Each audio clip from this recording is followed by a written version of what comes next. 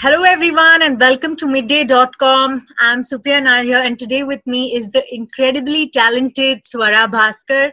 Hi, Swara, how are you doing? Hi. You avenged that guy uh, in the first episode by shooting him. So, could you relate with that character in some way, the frustration and the anger that people have with them?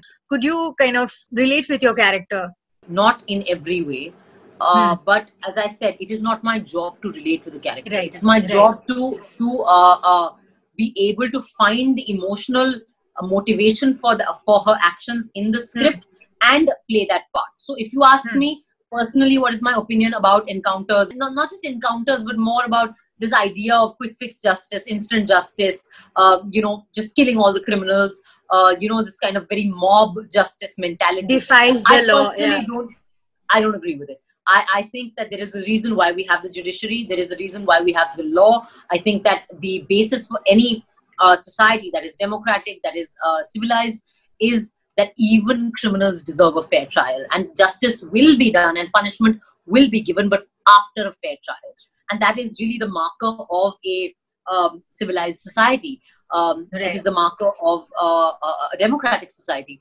Um, so I personally do not necessarily agree with Radha's position, for example, on wanting to kill all sex traffickers. Though, of course, if you ask me about the character and if you watch the show, you understand where she's coming from. Right. You completely understand what that frustration is. And we have to also, when we talk about police brutality, we also have to think about um, the kind of lives they lead. Yeah, like what is it that that leads to the brutalization of our uh, uniformed personnel? Look at the kind of conditions they work in. Look at the kind of pays they have. Look at the lack of no holidays do they have enough equipment? Are they well um, you know are they well looked after? Are they uh, is there counseling? Is there you know so it's a very high pressure job that they're doing. So are we are we protecting our uh, uniformed personnel from their own the pressures of their own job and from their own inner demons? I True. don't think we are so when we talk about police reform, I think there's also all these things to think about. And with the trend that's going on these days, like mob justice is something that is becoming more and more something that is, you know, prevailing. I, I don't support mob justice in any form, on any issue. I do not. Blanket, do not support it even a smallest of a line or any scene that people object to and then it becomes like you know a boycott like a public thing that just happens and where do you see this trend and how do you see it I mean, you know, I always say that, you know, India, we uh, sometimes we're in a situation where like a country of 1.3 billion hurt sentiments, 135 crore hurt sentiments, basically. That, that, that's what we are. You feel like the atmosphere has to, turned so negative on social media with a lot of people taking a break from uh, Twitter or yeah. other I, I think our public discourse is the pits. Our public discourse is disgusting. If you sit in front of the news channel, you will uh, be able to witness it on a daily basis. I don't believe, understand how we can, anybody can remain sane if they subject themselves to that kind of content regularly. And I think that uh, as as a public, as a society, we're incapable of listening to each other, listening to each other's points of view. We're only accusing each other. That's hard, and, and you know we're drawing false equivalences we're letting off i mean it's just it's a mess it really is a mess and i think that the the uh, you know the social media was supposed to be something that would connect us that was that would be good but instead it's just becoming uh, a place of very very in the pits kind of discourse and like very fractal, polarizing, hateful nonsense, utter rubbish. And the pandemic is not helping. Everyone is at home, so you know there is bad scene. Twitter is something where uh, I think you've said it often that now if you don't trend, you're surprised by that because every other day like we have Swara Bhasker trending for something or the other. How do you manage to keep yourself sane amidst all the negativity? I just don't. I don't look at it.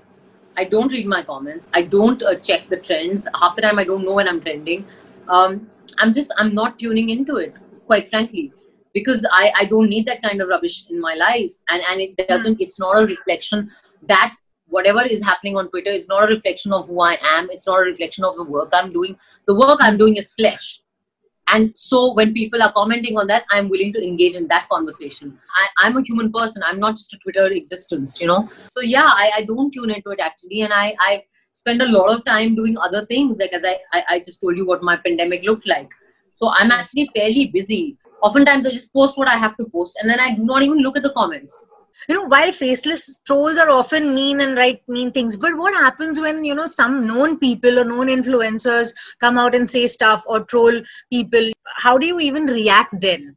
Like you know being in the same industry. As i said people have the right to their opinion. I have no problem if people have a right to their opinion. Not everyone has to like me. Uh, that's fine. But the uh, you know if you're going to put out falsehoods about me in public i will stand up for myself.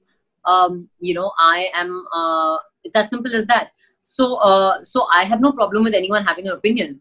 I have an opinion and I say it publicly. And if they have an opinion, they can say it publicly as well. But if it's a falsehood, then, you know, anything, you know, it's like saying anything that is said in public, uh, expect for a reaction and expect to be challenged by people who don't agree with you. I don't have a problem with people disagreeing with me and challenging me. So, so, so they shouldn't have a problem with being challenged either. It's very simple. I, I have no, I don't take, I don't take these things personally. I must say that's a very, very dignified way of taking it and taking that stance. It was it's really amazing to see that. Subscribe to Midday India. Get direct notifications on all our videos by clicking on the bell icon.